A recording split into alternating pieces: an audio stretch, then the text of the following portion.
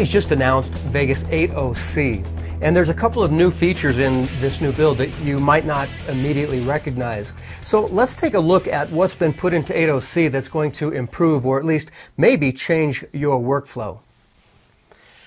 Up in the trimmer, we can see that we now have three new buttons. And let's just drag the trimmer down here so you can see a little better. There are three new buttons up in the top of the trimmer. The first one is Show Video Monitor, the second one is Trimmer on External Monitor, and the third one is to show video frames. So we've got some different choices that we can get involved with here in the, uh, the monitor. Basically what this does is it turns the trimmer into a source window when we click on Show Video Monitor.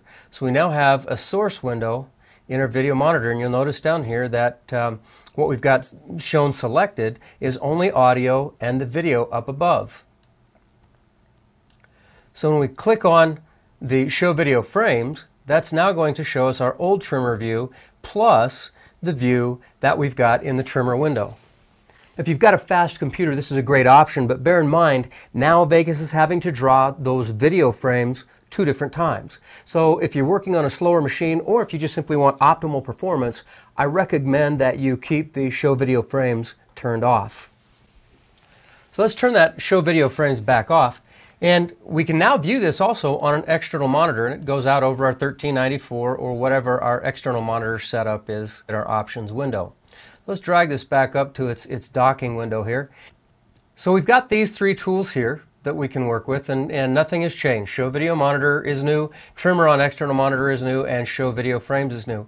But there are a couple of other things that are also new here. If we do click on show video frames, let's just uh, shrink this down just a little bit here. If we've got the video only select or audio only selected, you'll notice in this lower corner here we have an audio only indicator. This is tell this little gray bar here is telling us that we have audio only indicated. If we have video only selected, it's going to show us here that we've got a video frame selected. You can see that indicated right here. So this is telling us that it's video only selected rather than video and audio. We'll tab down to audio only, and I'm just pressing the tab key. You can see our selection change. Now we've got both audio and video selected, so nothing is showing up in the indicator window here. And then again, we'll click, and again, we've got just video frames selected there. So we'll turn that show video frames off. And right now, it's telling us that we have video only selected, even though we're not looking at the video frames. Press the tab key again. Now we're seeing audio only selected. And you can also see this in the right-hand corner of the frame. And click one more time on the tab key, and now it's audio and video. Now the next thing that you'll note is that we have a couple more buttons down here. We have a fit to fill button and our standard add media up to cursor and, and uh, from cursor. Then we have a new button here, which is enable timeline overwrite. Let's go to our Explorer for just a second, and we'll grab a piece of uh, AVCHD media and drop that down on the timeline. Great. Now we're going to grab uh, one other clip here and do the same thing with it. And I'm trimming it here on the, on the timeline for a reason. Okay, so now we've got a couple of pieces here. We'll just double click in, in the middle there where we've got nothing. And we'll go back to our trimmer. We can place our cursor on any given frame in the trimmer here where we'd like it to insert, and we click the A key, and it automatically adds, so it fits that space right there. And that's a normal behavior. It's one that we've always had in Vegas. So let's undo that. And the next thing that I want to do is I'm going to create a selection here on the, the in the trimmer. Now I've got a selection here. We can see we've got 31 seconds selected, yet down here we've got 58 seconds selected. I'm going to select the Fit to Fill button, and it drops that, that clip immediately into the timeline as a new event. But notice that the speed of that clip has been changed. Let's go to Properties, and look, it's playing back at half speed.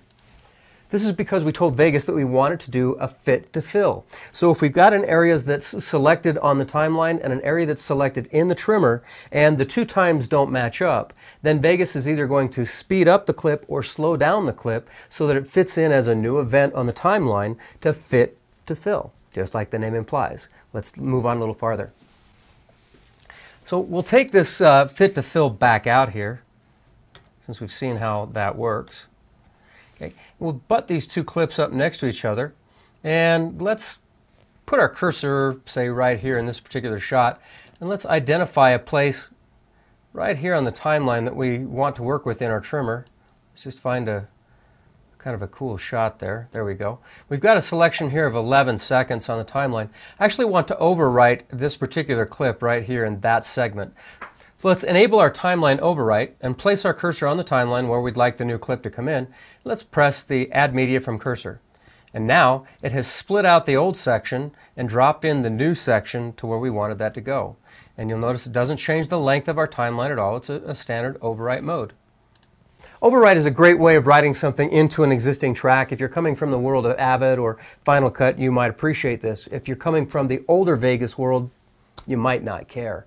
But it is a nice feature that allows Vegas to fit in a little bit more nicely into that broadcast or that ENG niche for people that are used to the overwrite, or perhaps you'd call it the boverwrite, the, the uh, Shift B edit that you're familiar with coming from the Avid world. This is exactly the same thing.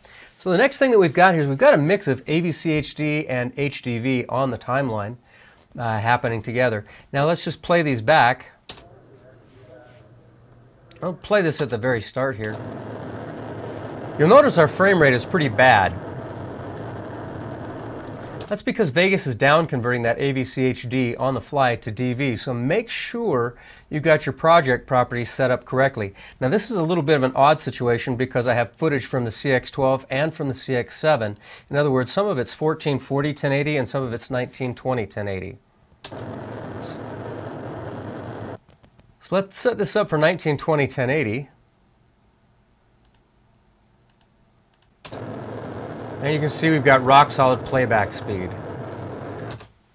In other words, the application has been optimized significantly for AVC HD, but you need to be sure that your project properties are set up correctly. And if you are mixing AVC HD or HDV or XDCAM with various sources, I recommend that you go with the largest file size source. In other words, if you've got 1920 1080 media and you've got 1440 1080 media, I recommend that you put it in 1920 1080 uh, project settings and then just preview at auto preview or preview mode in the auto setting, and that'll set you up.